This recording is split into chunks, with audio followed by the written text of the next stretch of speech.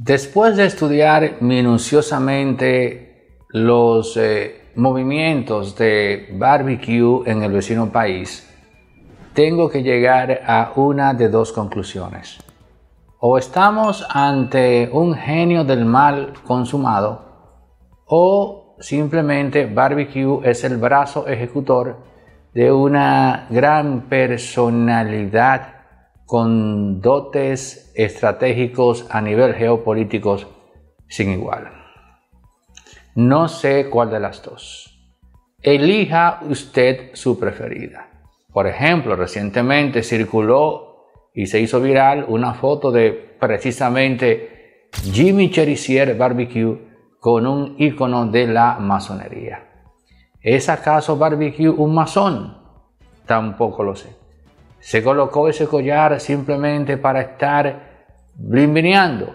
Tampoco lo sé. Ahora bien, cuando analizamos el secuestro del principal aeropuerto de ese país, y cuando nos percatamos de que también los puertos están en manos de las pandillas, llegamos a la conclusión de que simplemente Barbecue logró aislar totalmente a ese país.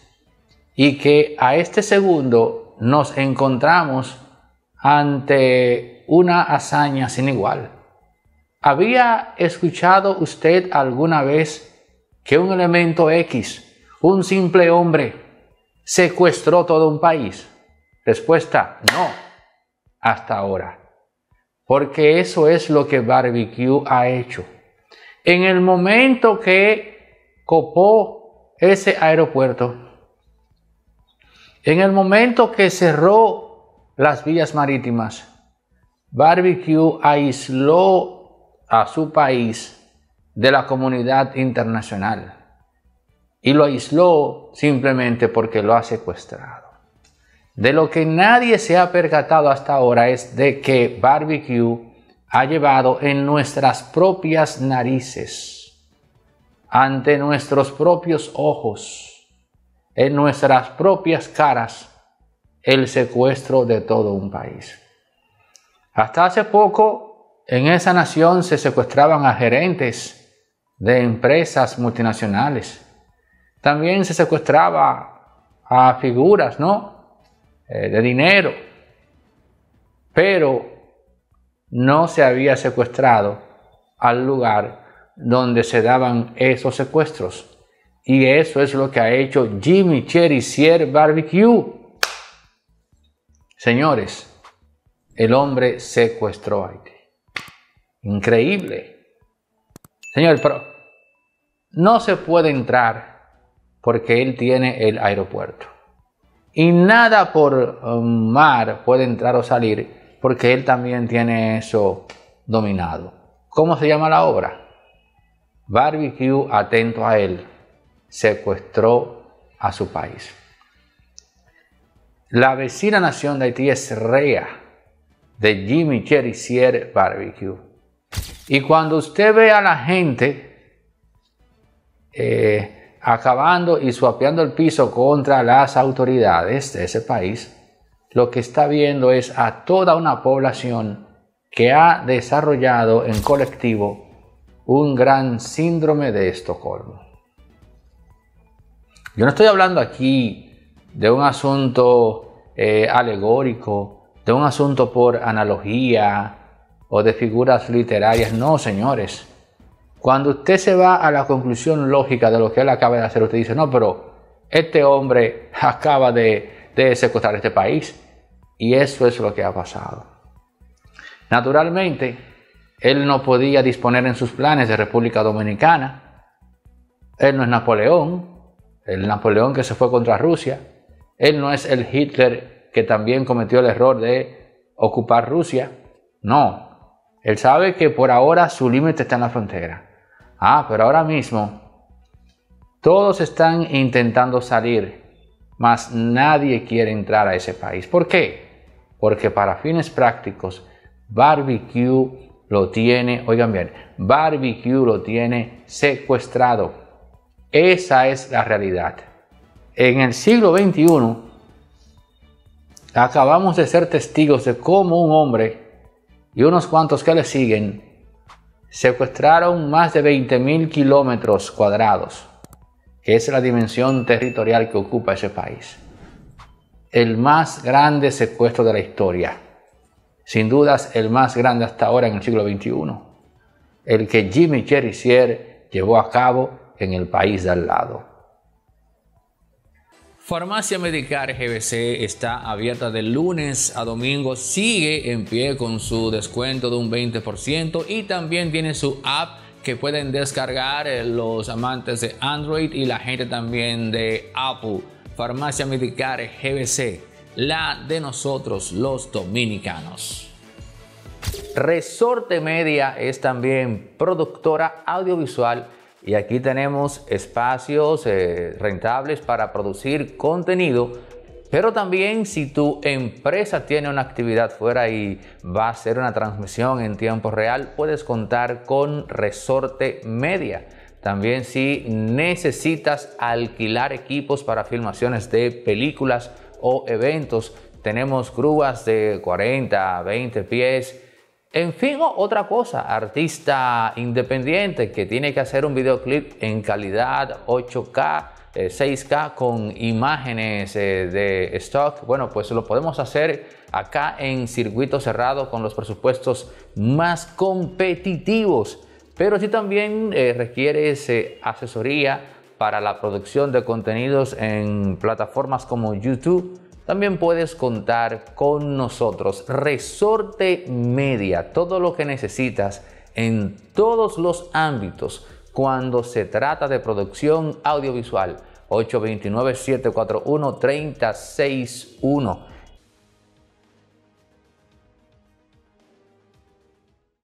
Pero ¿qué yo hago con ese documento? Viene don Pepín y llama a un bufete de abogados de Brickell, de aquí, de, unos abogados carísimos. Miami. Y van a República Dominicana y don Pepín, y ellos le dicen, no, vamos a acabar con este tipo. Pero don Pepín le dicen, ¿ustedes van a resolver el problema contra ese señor? Sí, pero, pero ¿cómo? Bueno, lo vamos a llevar a corte, vamos. Ajá. No.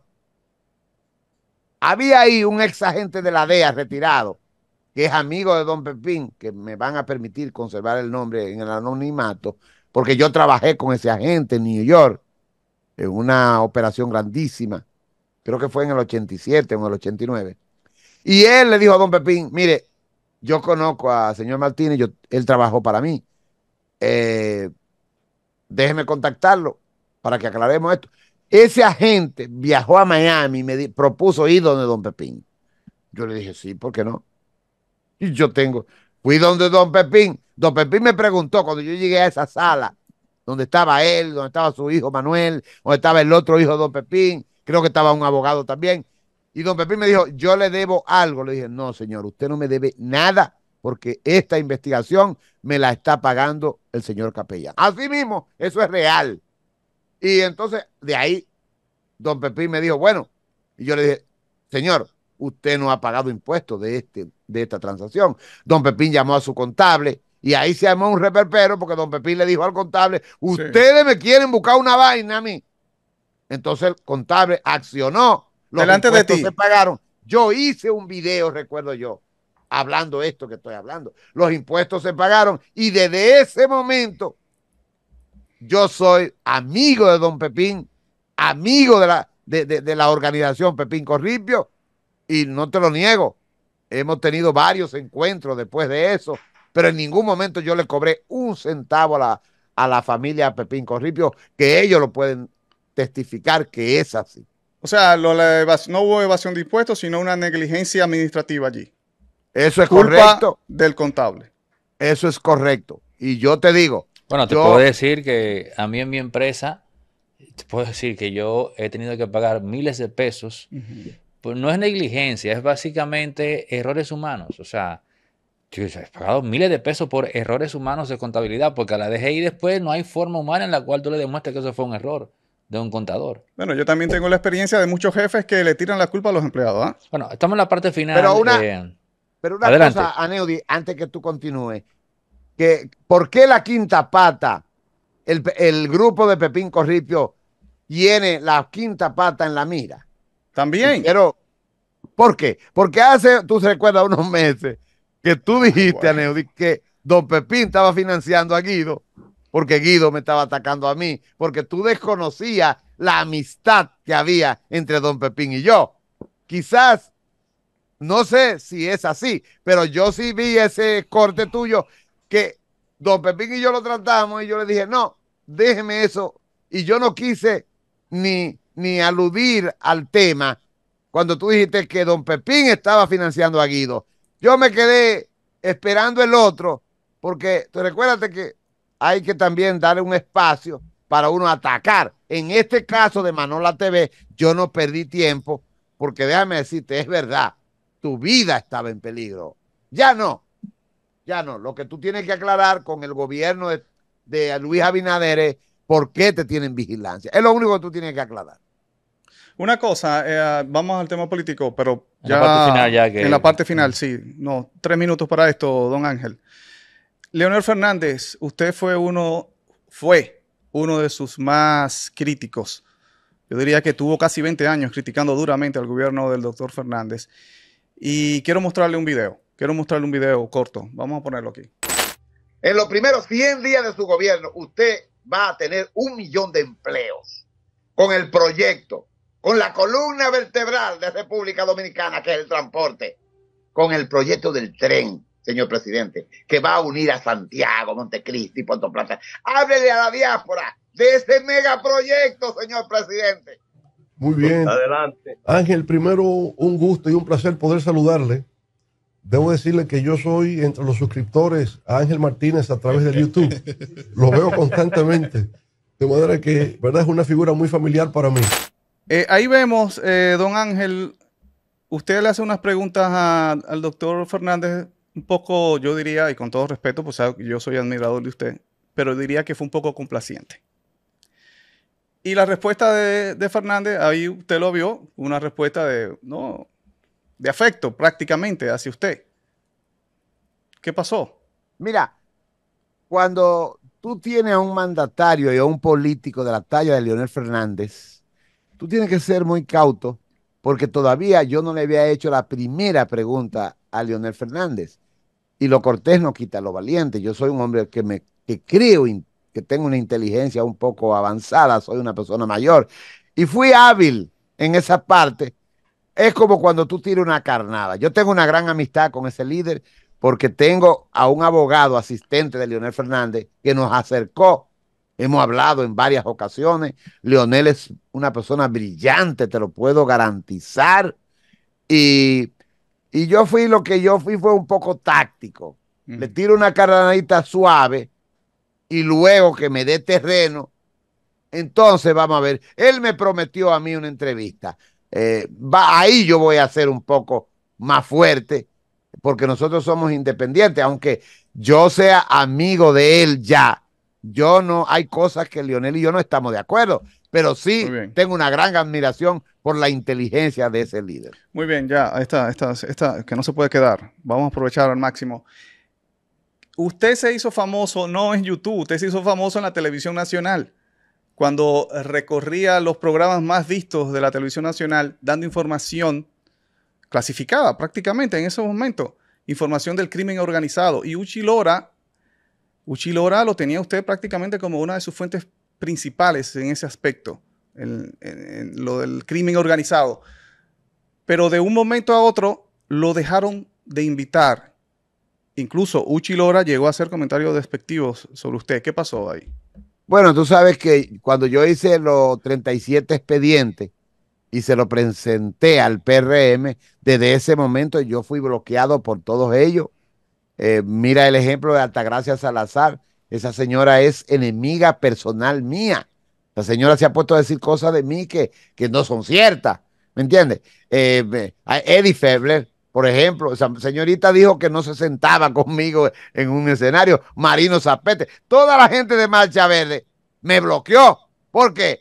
Porque todas esas personas están cogiendo jugosos contratos del PRM. Yo soy un, eh, diría yo, un objetivo del... Esa gente me han hecho mucho daño y la gran prensa de República Dominicana no me, Bueno, no soy de su simpatía. ahí está Ángel Martínez acá en la quinta pata. Eh, Gracias por, eh, digamos, compartir de, del tiempo del detective con nosotros, aclaradas unas cuantas cosas.